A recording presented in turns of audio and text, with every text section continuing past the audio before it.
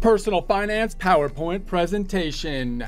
Burial Insurance. Prepare to get financially fit by practicing personal finance. Insurance is part of our long-term risk mitigation strategy where we follow the adage of measure twice, cut once, putting a formal process in place looking something like set the goals, develop a plan to reach them, put that plan in action, review the results, and repeat the process periodically. Most of this information can be found at Investopedia Burial Insurance, which you can find online. Take a look at the references, resources, continue your research from there. This by Julia Kagan, updated December 31st, 2021. And prior presentations, we've been talking about insurance in general, then moving on over to the life insurance, keeping in mind the major two categories of life insurance, that being the term, the pure life insurance, which you want to be comparing everything else to, and then the permanent life insurance. And now we're getting into more kind of subcategories here, this time talking about in the context of that overall insurance discussion. What is burial insurance? Burial insurance is a type of life insurance used to pay for funeral services and merchandise costs after a death. The policy can be bought online or by telephone without waiting for an insurance company doctor exam. In fact, burial insurance does not require a medical exam at all. So it's a specific kind of insurance clearly designed for a specific need and therefore you would think then the amount of the payouts might be smaller, which could lower the premiums. However, you also have that situation where you don't have the medical exam, and that usually would require more risk on the insurance company side of things, which could increase the cost of the policy. So we want to be keeping in our minds as we think about these specific types of insurance, whether we're already covered, for example, in some way for the costs of, say, burial costs, possibly with some other kind of insurance, which could also be used, of course, for those types of expenses, possibly, and or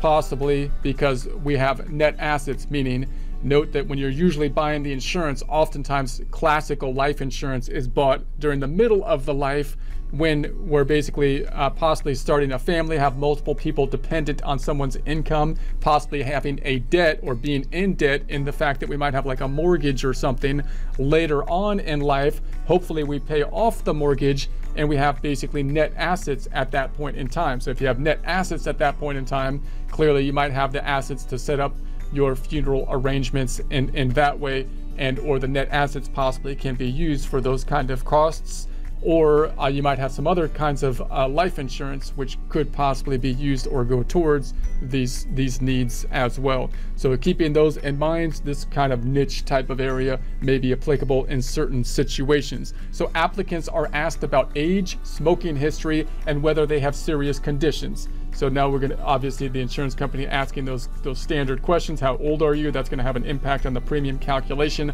The smoking, they always ask the smoking thing, and whether whether you have serious uh, conditions. For some policies, acceptance is guaranteed. Uh, so we talked about guaranteed insurance in a prior presentation. You could take a look at that. Others require a two-year premium uh, paying period before collection is possible and only provide coverage to 100 years of age. So meaning after you live past 100 might not apply uh, for some coverages past that point in time.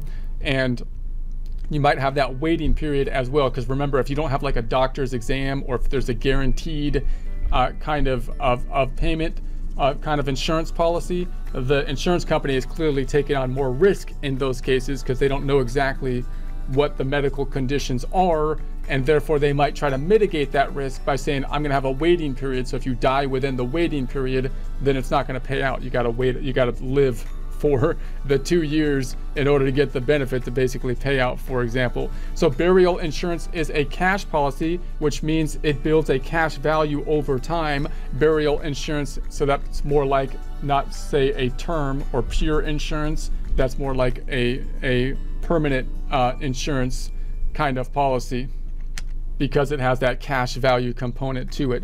Burial insurance uh, can be purchased for small amounts, such as $5,000 and $10,000. That's one of the benefits of this kind of insurance because you might say, I just need a limited type of insurance so they can burn me up and throw me in a coffee can or something without, without it costing them. Put the coffee can somewhere that doesn't cost too much or something like that. I don't know. While other term uh, whole life insurance may require substantially larger minimum coverage, obviously. So you know, most life insurance is going to have the larger coverage to make it worthwhile to both you, oftentimes, but also to the insurance company. So it takes kind of like a specialized type of company to be issuing policies for such a low uh, amount, and you're going to have policies or possibly insurance companies that would need to be streamlined to deal with specifically those kind of conditions to make it cost effective from a business standpoint on their end. So the premiums for burial insurance may therefore seem more affordable than bigger benefit policies. Premiums for this type of insurance do not change, and this policy provides permanent coverage. Some of the costs covered by this insurance include funeral service, cemetery plot and headstone, casket, funeral processions, and other miscellaneous costs. Life insurance, similar cost, more benefits. Consumer advocates have raised red flags about burial insurance. So some people have said, you know, the burial insurance, you know, are, are, are is it a worthwhile type of, of thing? And are people that are selling burial insurance doing a, a good thing, or possibly could they be playing on emotions for people that maybe don't need that kind of insurance, or it might be for a specific situation. Some consider it a predatory type of insurance targeted to people who tend to be less educated, minority, and low income. That a medical exam is not required and accepted uh, is guaranteed. Accepted is guaranteed means the pool of insured people is high risk. So basically, obviously, if there's no medical examination and it's and it's guaranteed, you have a more high risk pool of people generally. In order for the insurer to make a profit, the premiums have to be high related to the benefits.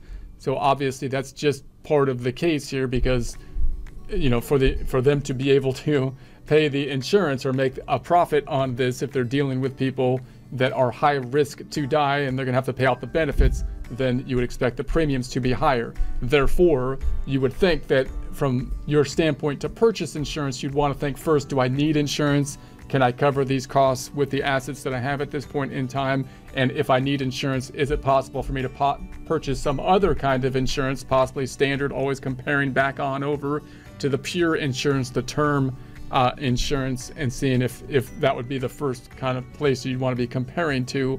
And even if you need, even if you have medical problems, uh, you still might be able to be, you might be able to purchase you know normal insurance, which possibly would be cheaper given the insurance company is aware of whatever medical problems are there and can then appropriately calculate the risk. So, yet most people, even with severe health issues, qualify for policies many times better than burial insurance. So, many people might, you know, this is where the predatory situation comes in because if a company is specialized on burial insurance, that means that they might be really streamlined to that specific kind of insurance and there might be many people that they're selling the insurance to that could qualify for other insurance, which would be more affordable. They might not think so because they might have medical conditions, but there might be other types of insurances that would be willing to to basically insure even given you know fairly serious medical conditions and have a cheaper policy given the fact that they have the medical information. So if the pressing issue is to make sure there are sufficient funds available to survivors to pay the funeral and settle bills, a term or permanent life insurance policy can be purchased. If the main concern is to ensure that the individual wishes for burial, uh, cremation, or memorial services will be funded and followed, and the demise is expected in the next few years, it may also pay to make prepaid, pre need arrangements with a funeral provider. So, in other words, you might have a couple needs here. You might first be saying, uh, well, first of all, I don't want to put this problem of, of not having the money to deal with my funeral costs, that burden on on the people that are, are after my death. Well, so obviously you could buy just normal insurance, you know, term insurance, for example, if you qualify for it, it might be beneficial in those cases. And if you can't get that, and you might also have assets already that you can kind of prepaid it to basically set up your funeral arrangements or make sure that that is available to cover those types of costs if you have net assets uh, over the liabilities at that point in time.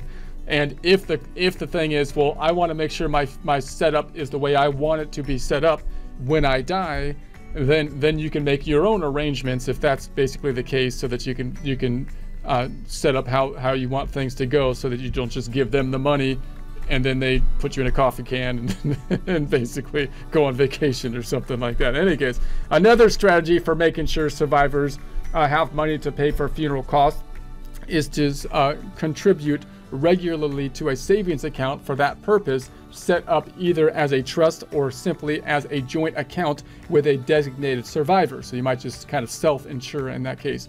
The, uh, this money could be withdrawn immediately if needed after you die. Survivors won't have to wait for the insurance check or probate. So in that way, the money is even more uh, right right on hand, right? That and that would be the easiest. That'd be the nicest thing to be able to do. So you could just say, okay, we've got the money in the account here, and we can use. We don't have to worry about the, this whole process for the for the uh, funeral arrangements.